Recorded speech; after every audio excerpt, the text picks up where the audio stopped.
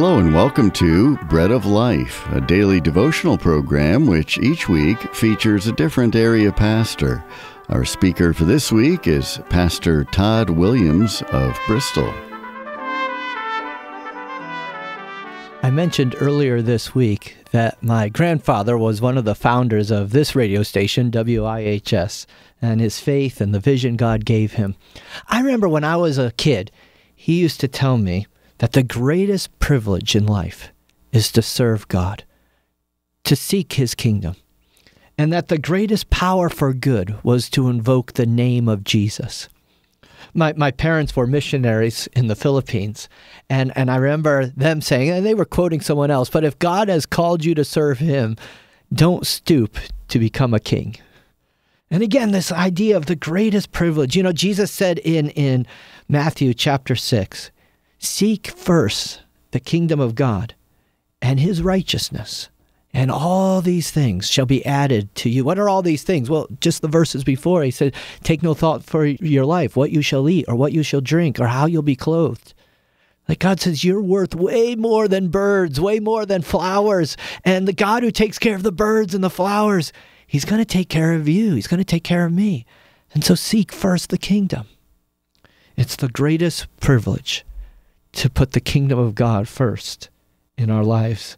And the greatest power is to invoke the name of Jesus in, in Acts chapter 4. Well, in Acts chapter 3, Peter and John were walking into Jerusalem, and there was the man who was begging, and they had no money. And so they said, Gold and silver I don't have, but what I have I give to you. In the name of Jesus, rise up and walk. And the man went walking and leaping and praising God, and it was a beautiful moment. And then the Pharisees and the high priest found about it. They threw Peter and John in jail.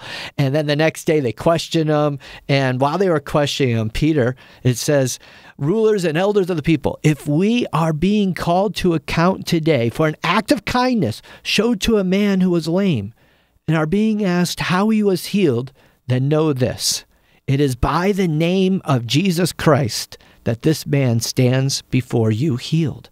It's the name of Jesus. Peter was proud to say it, wanted everyone to know. It was the name of Jesus. You know, the name of Jesus is powerful. Just a few verses later, Peter goes on to say, Salvation is found in no one else, for there is no other name under heaven given to mankind by which we must be saved. It's the name of Jesus, the kingdom of God, and the name of Jesus. But that leads to a question What in this last week have you done for the kingdom of God? I, am not interested in hearing the story 10 years ago. That's great, and it really is great. But I want to know what have you done this last week? Answer that in your own heart to the Lord for the kingdom of God. Are you really seeking first the kingdom? So many times we don't. Sometimes I wonder is what I'm doing for God can it be duplicated by my wonderful neighbors who live in my in my neighborhood but they don't know Jesus? In our church is what we're doing for God. Can that be duplicated by the nonprofit down the street? If so, then that's a problem. And usually it's because we're not invoking the name of Jesus, the greatest power for good. And so that's the second question. This last week, what have you done? And intentionally you did it in the name of Jesus. And you let everybody know. Maybe you gave a glass of cold water in the name of Jesus. Jesus said if you did that, it was like you gave it to him. Maybe you visited somebody in the name of Jesus.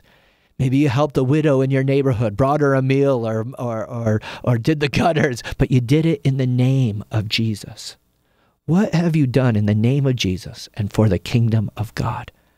And if it's not much, maybe rearrange your priorities so you make time to do that.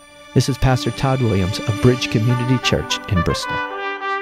You've been listening to Pastor Todd Williams of Bristol, and this has been Bread of Life, a program to encourage you from God's Word.